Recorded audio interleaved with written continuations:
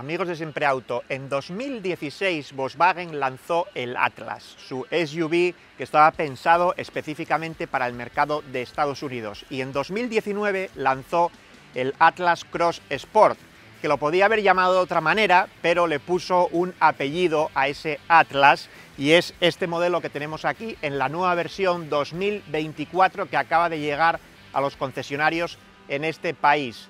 Es muy muy parecido al Atlas. La gran diferencia es que ahí atrás tiene solo dos filas de asientos y por lo tanto es un poco más corto, se nota algo en la conducción, pero tiene el mismo motor.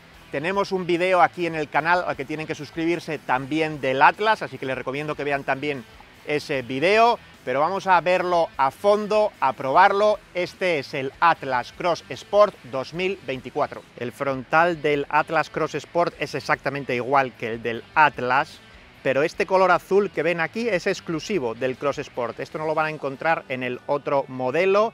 El logo se ilumina, igual que esa luz que va de lado a lado ahí encima. Vean la parrilla en negro con esa R, que quiere decir que es el tope de gama. Este es un SEL Premium R-Line. Y vean en la zona de abajo algún cromado. Por supuesto, como es el tope de gama, tiene sensores y vamos a ver que también tiene cámaras en los laterales, cámara trasera y cámara delantera, ahí la pueden ver. Tiene unos rines de 21 pulgadas, pero los modelos más básicos arrancan en 18 y luego los intermedios en 20 pulgadas. Todos traen aquí en este lateral el nombre específico Cross Sport, retrovisor con dos colores y con la luz del intermitente integrada, las manillas en el mismo color del auto. Este viene aquí con raíles, vean ahí arriba, y con ese quemacocos panorámico que viene hasta atrás y hasta aquí el auto es exactamente igual que el Atlas, pero a partir de aquí, esta zona de atrás, es donde empiezan las diferencias. Esta ventana es un poco más pequeña que en el Atlas, aquí en el Cross Sport. El spoiler cambia un poco porque cae la línea de caída hacia atrás, pues es un poco más abrupta en este caso y el auto es 5 pulgadas más corto que en su hermano mayor. En la parte trasera de nuevo tenemos el logo ahí que se ilumina, el nombre de Atlas y vean todo ese rojo que hay ahí, bueno, hay una luz que va también de lado a lado, eso es nuevo en el rediseño. Y esta como es la versión R tiene estos dobles escapes cromados aquí abajo y vean que tiene enganche para el remolque. Este auto con ese motor de 2 litros puede remolcar hasta 5.000 libras, que no está mal. Vamos a abrirlo, vean que aquí hay cámara trasera.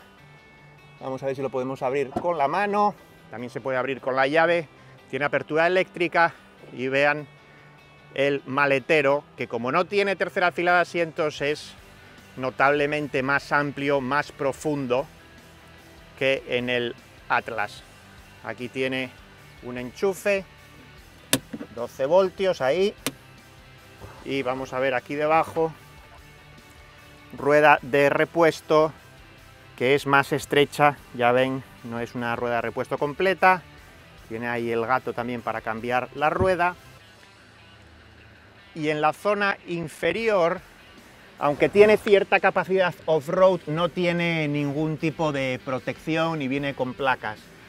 Este auto, vean aquí por cierto el disco ventilado ahí en la rueda, estas son unas ruedas de 2,65 de ancho. Al ser de 21 pulgadas en la carretera, bueno, hacen un, poco de, ruido si no vamos en una carretera con un asfalto que esté en muy buenas condiciones. Detalles como aquí en las luces que pone IQ Light, eso no sé si lo pueden ver, pero todas las luces son LED. Vamos a cerrar el maletero. Y decíamos que aunque tiene un modo de manejo off-road y en este caso, por ejemplo, es un tracción 4. En los trims inferiores viene o con tracción delantera o con tracción 4 y luego los dos trims superiores, eh, el SL y el SL Premium que estamos viendo, solo es tracción a las cuatro ruedas, pero este es un vehículo familiar, esto no es un vehículo de aventura, no está pensado para eso. en el interior se han mejorado tanto los materiales como elementos de confort. Por ejemplo, estos dos asientos delanteros vienen tanto con calefacción como con ventilación y además vean que tienen memoria, el del conductor y son eléctricos. Este es en la versión R y viene con estos pedales deportivos.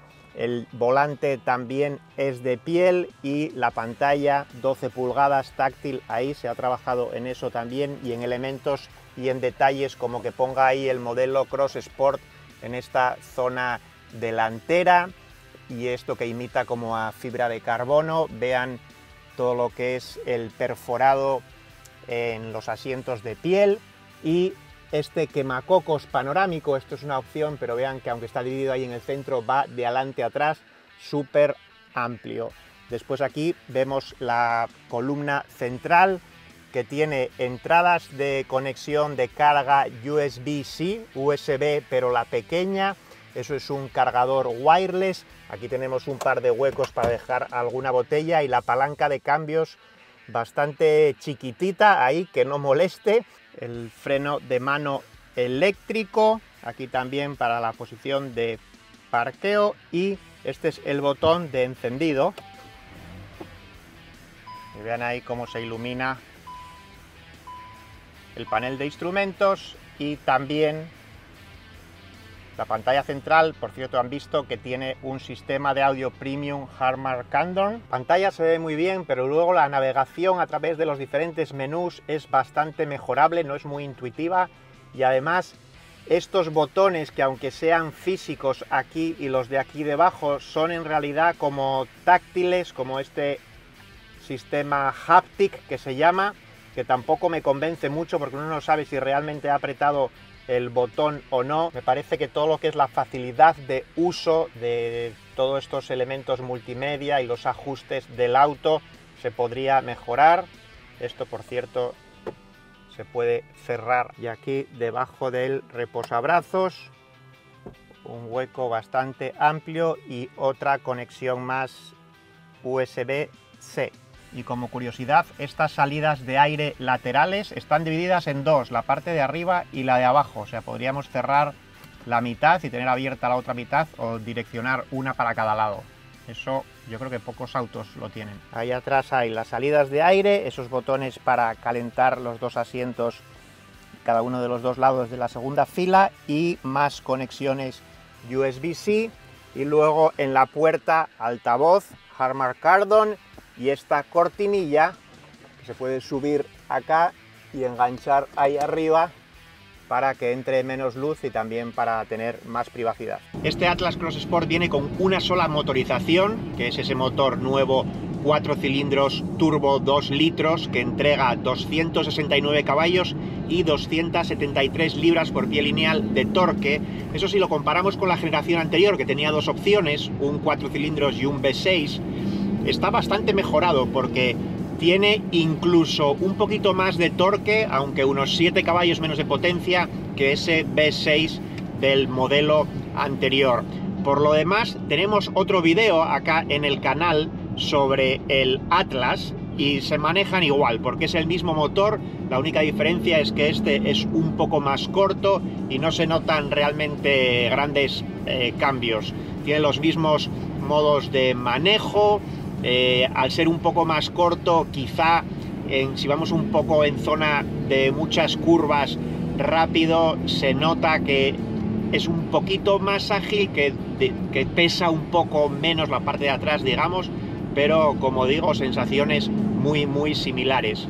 En los modos de manejo tenemos el Eco, que ya saben, para tratar de ahorrar la mayor gasolina posible, por mucho que le pises el acelerador ahí casi que no responde, el normal. Y luego el Sport que lo que hace supuestamente es que endurece un poco la dirección y la suspensión, aunque yo eso la verdad que casi prácticamente no lo he notado, lo que sí he notado es que la reacción al acelerador es un poco más sensible y que las marchas cambian antes, así que el auto va algo más revolucionado con esa transmisión automática de 8 velocidades.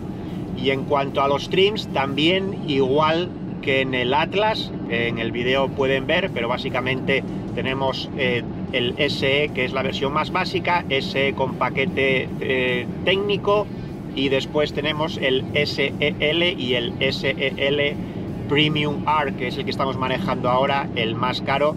Y después en cuanto a los precios, hay que tener en cuenta que este, el Cross Sport, al tener una fila menos de asiento y ser un poco más corto, se ahorran unos mil dólares nada más respecto al Atlas.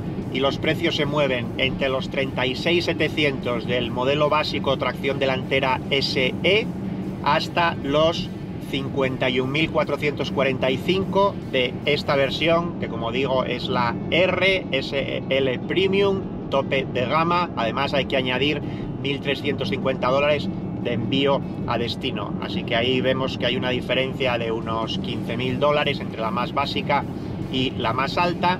Viene con el sistema de tecnología y seguridad IQ Drive de Volkswagen, eso es estándar en todos los modelos que tiene pues el freno de emergencia, el aviso de punto ciego en los espejos laterales, mantiene el auto entre líneas, tiene también velocidad de control de crucero adaptativa y además predictiva, es decir, que es como un pasito más que trata de predecir cuál va a ser la situación ahí adelante cuando vamos en tráfico.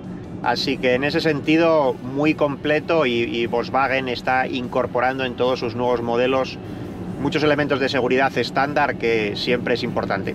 Aquí está el nuevo motor, 4 cilindros, 16 válvulas, 2 litros turbo. Vean que sobra un montón de espacio. Aquí cabría un motor mucho mayor. Esta es la única motorización que se ofrece en todas las versiones del Atlas y del Cross Sport 2024 en estas carreteras con muchas curvas por las que estamos manejando, aunque no vamos especialmente rápidos y hemos tratado de, darle algún acelerón de vez en cuando, como ahora, vean que incluso ahí el motor es bastante silencioso, ahí entró esa suspensión, bueno, podría haber recuperado un poco mejor, pero sí es cierto que siento que este auto, es decir, el Cross Sport, es más ágil, se maneja mejor en esta situación que el Atlas normal.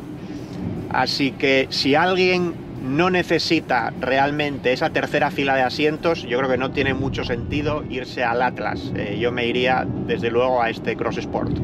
Además de venir en este azul, hay otros siete colores más para la versión Cross Sport, más que la que tiene el Atlas, que se queda en seis colores, y el interior se puede elegir entre cinco opciones diferentes.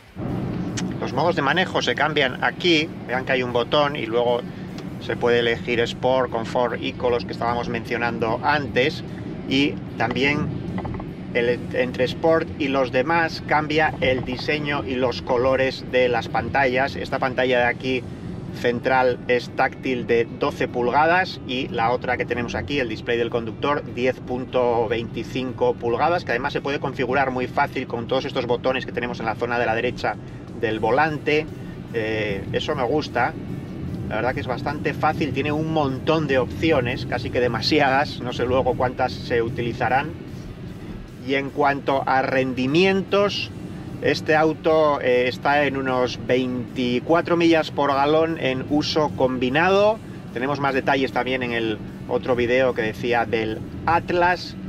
Y después no tenemos la, el dato exacto de cuánto tarda de ponerse de 0 a 60 millas por hora, pero es un poco más ligero al ser más corto que el Atlas y el Atlas se pone en la versión tracción a las cuatro ruedas en 7.5 segundos y la tracción delantera 7.6.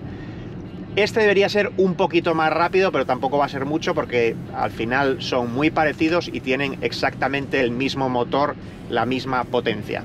En cuanto ponemos la marcha atrás, se activa ahí la cámara trasera. No sé si lo ven ahí, pero tiene un heads up display que también se puede configurar. Este sistema de navegación que ven aquí viene con el auto ya como built-in, lo trae este Volkswagen porque es uno de los de gama alta. Si tenemos los trims inferiores, tendríamos que conectar nuestro celular. Eso sí, se puede conectar wireless tanto a Apple CarPlay como a Android Auto.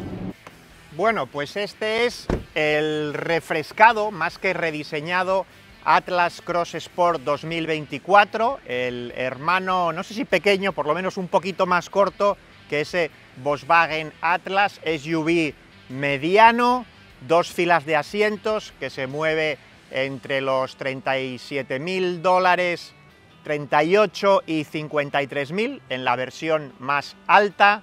Espero que les haya gustado el vídeo. Como siempre les digo, por favor suscríbanse a nuestro canal. También estamos en redes sociales. Siempre Auto está en Facebook, Instagram y Twitter. Y por supuesto nuestra página web siempreauto.com. Muchas gracias y hasta la próxima.